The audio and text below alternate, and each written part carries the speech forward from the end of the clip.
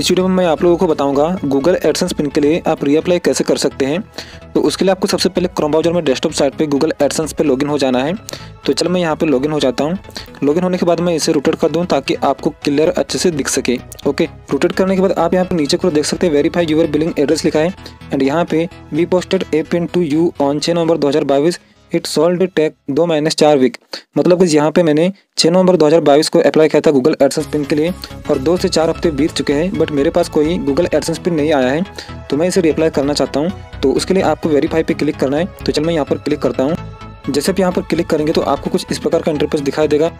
तो अभी आप यहाँ पर देख सकते हैं सेंड छः नवंबर 2022 लिखा है, जो कि मुझे छः नवंबर 2022 को सेंड किया गया था। भेजा गया था बट मेरे पास कोई एड्रेस पिन नहीं पहुँचा है।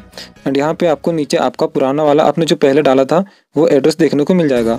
तो आपको यहाँ पर रिसेंट पिन पे क्लिक करना है। जैसे आप यहाँ पर क्लिक करेंगे, उसके बाद फिर से आपको यहाँ पे आपका एड्रेस होगा। तो बस ये एड्रेस को मैं चेंज कर दिया हूँ। आप यहाँ पर अपडेट एड्रेस पे क्लिक करके आप भी चेंज कर सकते हैं। बहुत आसान है। तो आप यहाँ पे अपडेट एड्रेस पे क्लिक करके चेंज कीजिए, अगर आपको चेंज करना है तो ओके तो उसके बाद आपको यहाँ पे रिसेंट पिन पे क्लिक करना है। जैसे आप यहाँ पर क्लिक करेंगे तो आपको फिर से वही पेज से होगा जो हमें पहले दिखाई दिया था।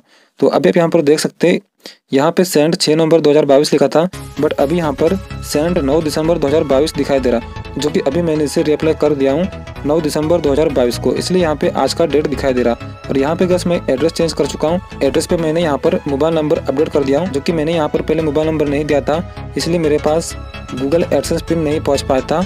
तो अगर आप भी मोबाइल नंबर नहीं दिया है तो आप यहाँ पर मोबाइल नंबर डाल दीजिए तो आपके घर तक आपका गूगल एडसेस पिन पहुँच जाएगा। तो आशा करता हूँ आपको छोटा सा वीडियो पसंद आया होगा, और वीडियो पसंद आए तो वीडियो को लाइक कर दीजिए, और चैनल पर नहीं तो चैनल को सब्सक्राइब करके नोटिफिकेशन आल पर ज़रूर क्लिक करें, ताकि सबसे पहले आने वाले वीडियो की नोटिफिकेशन जो है आप तक पहुँच सके।